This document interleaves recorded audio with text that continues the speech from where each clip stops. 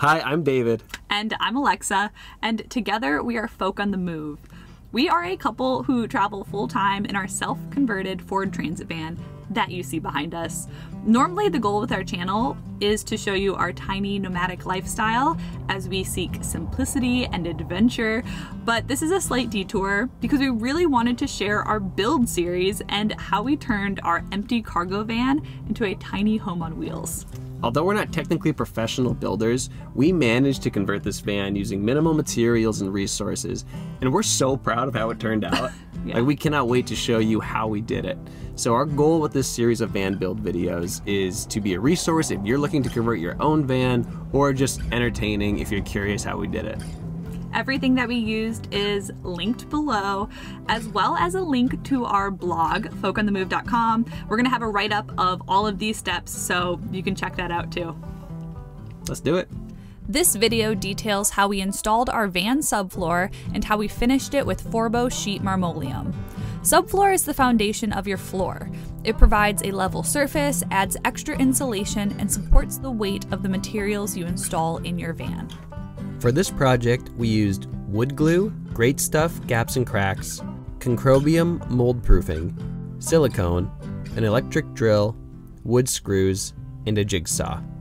We built our subfloor out of 2x2 inch furring strips and 3 quarter inch plywood sheets. It's important to note that our van has a high roof, so we had plenty of extra headroom to spare, which is why we were okay using 2x2 inch rather than 1x2 inch furring strips. If you are worried about headspace in your van, consider using 1x2 furring strips and half inch plywood to save that extra inch of headroom. The first thing we did was clean the metal van floor thoroughly and prep it for installation. Next, we made a template of the floor out of builder's paper. Side note, I personally hate working with builder's paper, but it's so helpful down the road. To do this, we rolled out the builder's paper and then cut and taped large pieces of it together to form one single template of our floor's surface. Next, we constructed the furring strip framework that would support our plywood sheets. The furring strips need to be close enough together that they support the weight of the items in your van. We used the ridges of the van floor as a guide for spacing our furring strips that run the length of the van, then added cross pieces where we wanted extra support.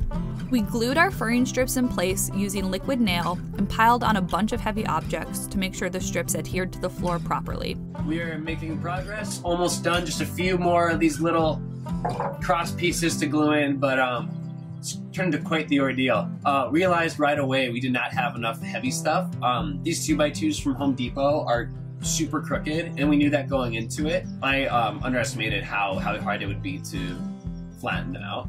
It's working. We're getting it down, um, and we're making sure the parts that are more essential to have perfectly flat are flat. We've just got a few more bits to go, and that's why it looks like a mess in here, because we just found all the heavy stuff that we could. Um, almost done. While the glue dried, we used our builder's paper template to cut our 3 quarter inch plywood for the subfloor surface. To do this, we laid our plywood end to end, then traced the template on top of the plywood to replicate the template. Before securing our plywood sheets to the furring strips, we insulated our floor by filling the gaps between the furring strips with Havelock wool. This process was super easy and entertaining because how can you not have fun when playing with wool? We chose to attach our plywood to the furring strips by screwing them in place with wood screws. The screws worked fine, but in hindsight, we would have used liquid nail again to secure the plywood to the furring strips.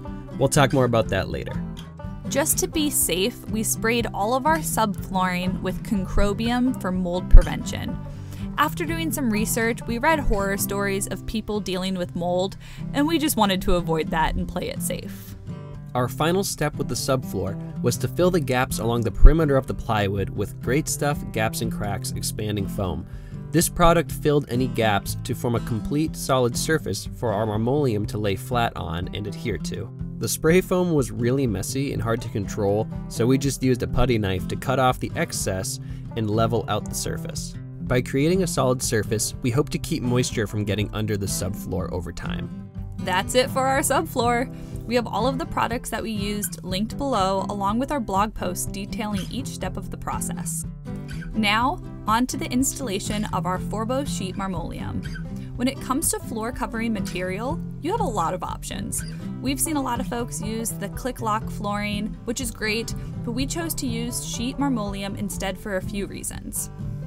In addition to marmoleum flooring being non toxic, which is something we tried to do with as many of our materials as possible, it's also antimicrobial, eco friendly, and pretty easy to maintain.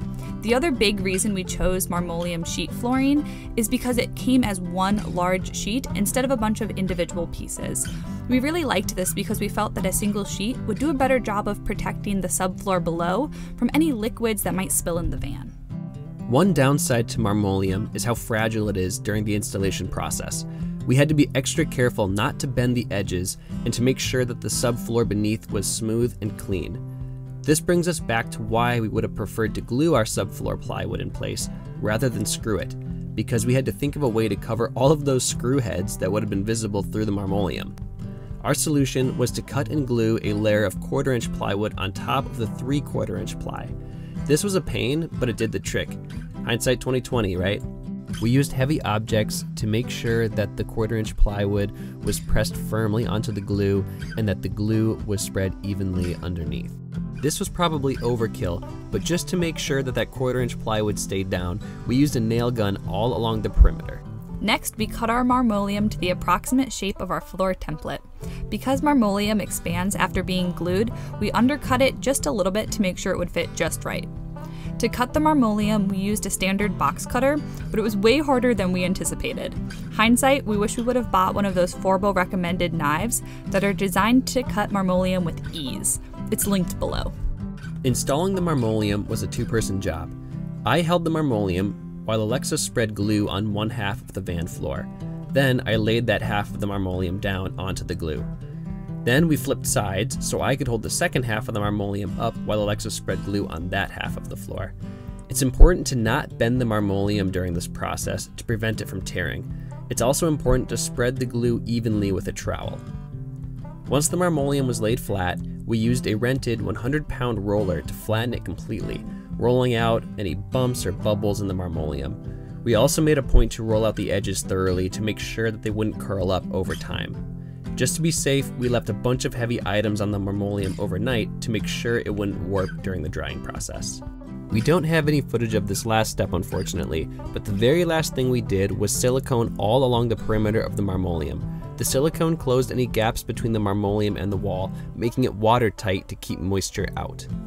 That's it. Thank you for watching. We really hope this video helps. And remember, all the materials and resources we mentioned are linked below, so check them out. If you liked this video, please consider hitting that like button, as well as subscribing to our channel. Oh, yeah. We're going to continue sharing our tiny nomadic lifestyle on here, and we would love to have you along for the ride. See you soon.